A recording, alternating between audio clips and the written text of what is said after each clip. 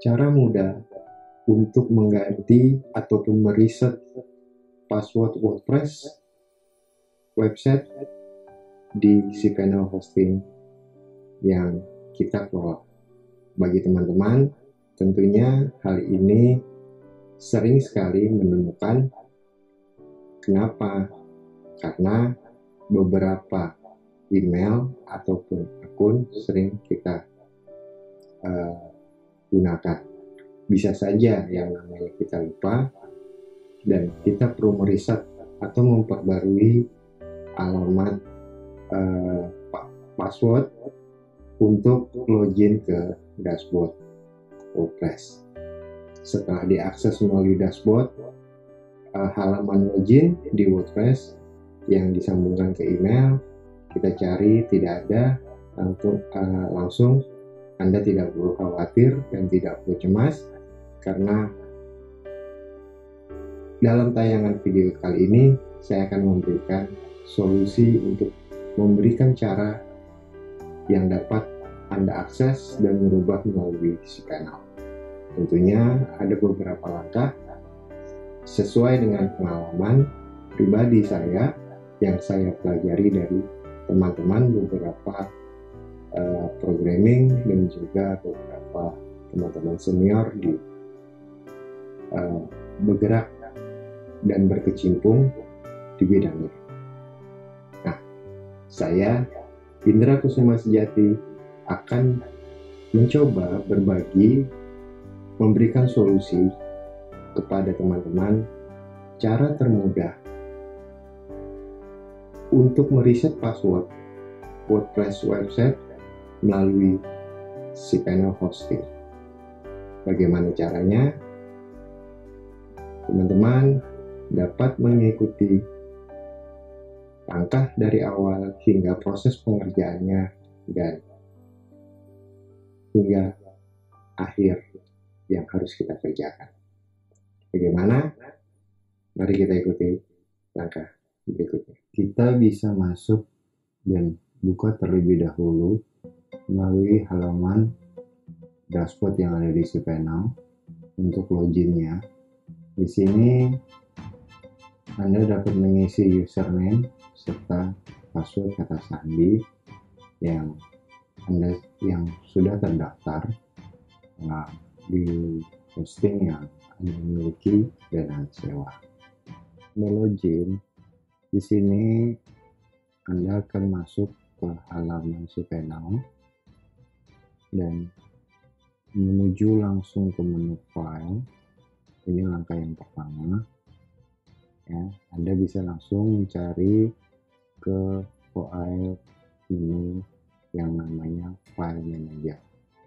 Ya Anda temukan di dalam si panel Anda. Setelah itu kita buka. Seperti ini kita bisa langsung klik atau buka new tab ya. Di dalam ini kita langsung menuju ke folder public HTML dalam folder public HTML ini langsung kita mencari di bawah yang namanya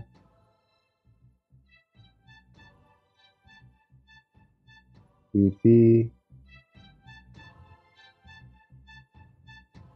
config PHP. Fungsinya kenapa? Karena nantinya kita akan merubah password email untuk mengakses WordPress website yang Anda miliki. Posisinya ada di folder mana. Setelah kita menunjuk ppconfig.php ini kita bisa langsung arahkan kursor ke atas sebelah kanan. Di sini ada edit. Anda bisa klik ini. Atau gunakan yang ada di kursor dengan mouse Anda. Langsung Anda buka tulisan edit ini sama saja. Setelah terbuka menu edit seperti ini langsung anda lihat di bawah yang ada tulisan edit. Setelah itu anda klik dan dia akan terbuka halaman baru. Ya anda lihat di bawah sampai anda ketemu dengan uh, di bawah tulisan MSQL settings ya. Di sini ada di db underscore name. Nah ini letak folder kita yang saya warnakan merah ya.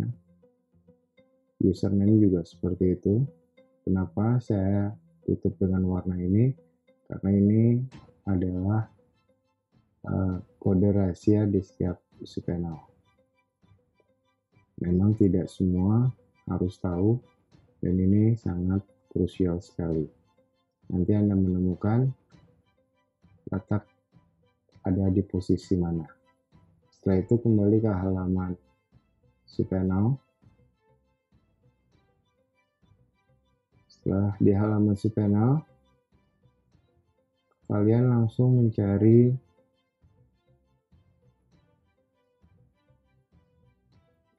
di menu database. Ya. Di menu database ini, setelah Anda sudah ketemu menu database, Anda mencari menu PHP My Admin. Ya, Anda bisa klik buka tautan di tab baru, nanti dia terbuka.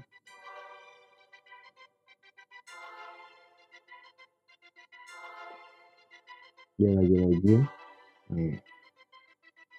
ini adalah tampak halaman dari PHP MyAdmin misalnya di bawah PHP MyAdmin ini ada beberapa folder anda harus menyesuaikan folder mana yang harus Anda temukan. Yang tadinya ada di wp-config.php. ini saya tutup dengan warna untuk masalah privasi. Ya taruhlah umpama ini yang kita pilih dan ini adalah A.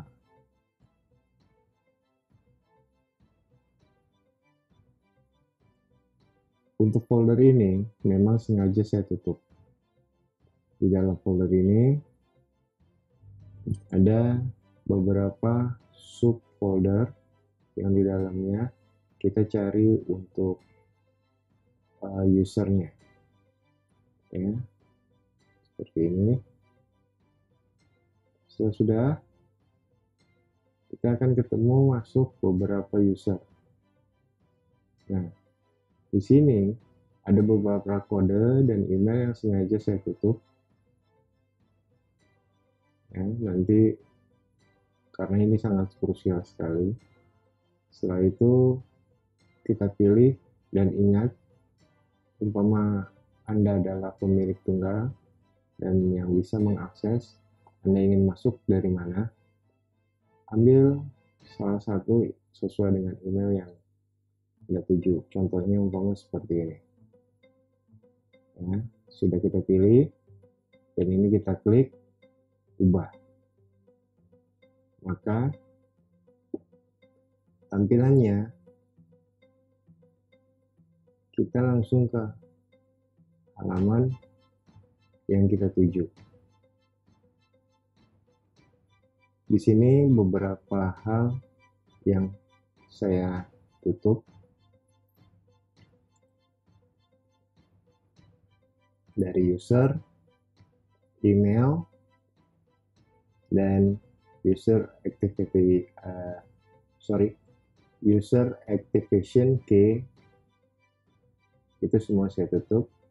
Nah nanti anda tinggal hanya mengganti dan tidak usah ke mana-mana anda langsung ke user pass. Di sini anda klik tanda panah dan lihat yang scroll ke bawah kita cari kita pilih MD5 langsung anda klik. Setelah sudah anda klik ya.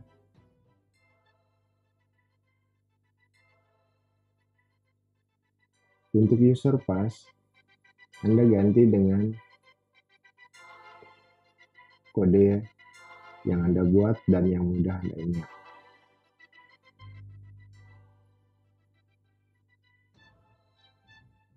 Contohnya ini bejo. Oke. Ingat ini bejo hanya kalimat kecil dan Anda harus sambungkan umpama 8 1 anda kombinasikan antara angka dan huruf besar huruf kecil. Di sini adalah password baru yang Anda harus buat dan ingat kombinasikan huruf besar huruf kecil angka dan tanda lainnya yang mudah Anda ingat dan yang suka ditebak.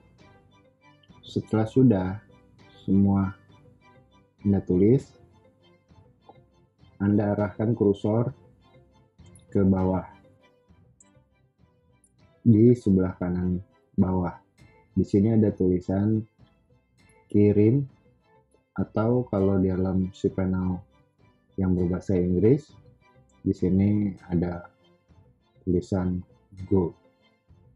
Anda tinggal klik maka password Anda dengan username yang Anda ingat ya sudah terganti untuk bisa diakses.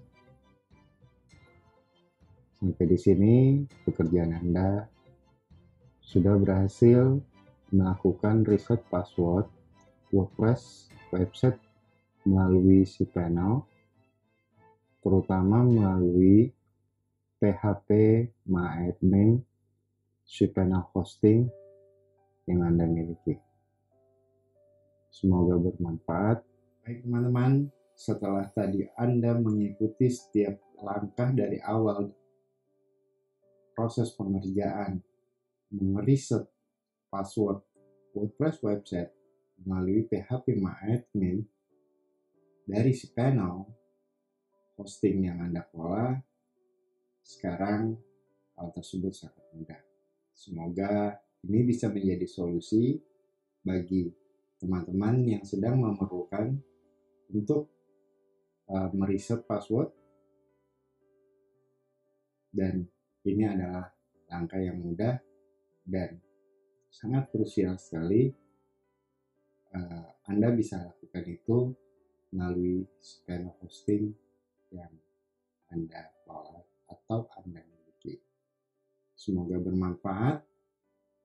Salam kreatif dari Indra Kusuma Sejati.